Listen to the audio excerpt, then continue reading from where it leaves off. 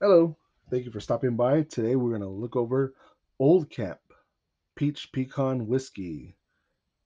This is from the boys of Florida Georgia Line. Tyler and BK push the envelope on this one, taking inspiration from the innovation fusion of country, rock, hip hop, and pop to create a whiskey that's truly unique.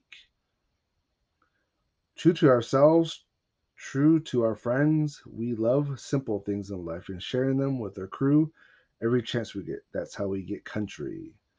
The drink Old Camp Peach Pecan, easily drinking whiskey that doesn't sacrifice anything to be smooth.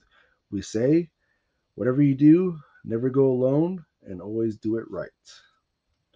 The thing that caught me caught my eye about this bottle when I saw it is I saw it before and you know if you're not a big thing into podcasts but i remember watching one video on podcasts I, this is going off topic but with um, joe rogan and elon musk when they were talking um, joe rogan pours elon musk a cup of this and i might be quoting wrong or yeah, but elon musk said oh that was the best tasting i ever tried I wouldn't know. Never tried it.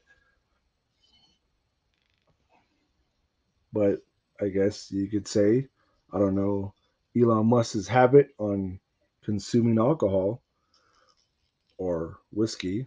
But if a billionaire says it's all right, this $30 bottle is all right. The thing I like about it is that the logo stands out. It's uh, textured, smooth whiskey written on the top. Their logo. It reminds me of an old canteen, the way the bottle is curved. The logo is of uh, paper, kind of feels like wood. Their logo on top.